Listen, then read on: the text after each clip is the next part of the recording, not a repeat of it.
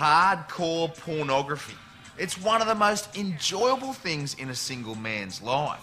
But once you get yourself a lady friend, well, you can kiss the X rated pleasure factory goodbye. It's merchant ivory time for you. From now on, the only chance you'll get to watch adult entertainment is on a prawn and porn night with your fellow tradesmates. And there's not a lot of point getting all steamed up with a bunch of blokes. You want to be watching it with her.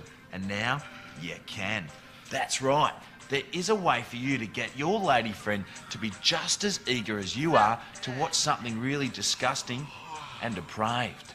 All you got to do is go down to your local video store and rent a French film. Don't worry about which one, they're all the same. Now, simply dub the soundtrack of your French film over the top of your favourite porno. Don't worry if the sound bears no relation to what's happening on screen. Bad dubbing is traditional in all French films.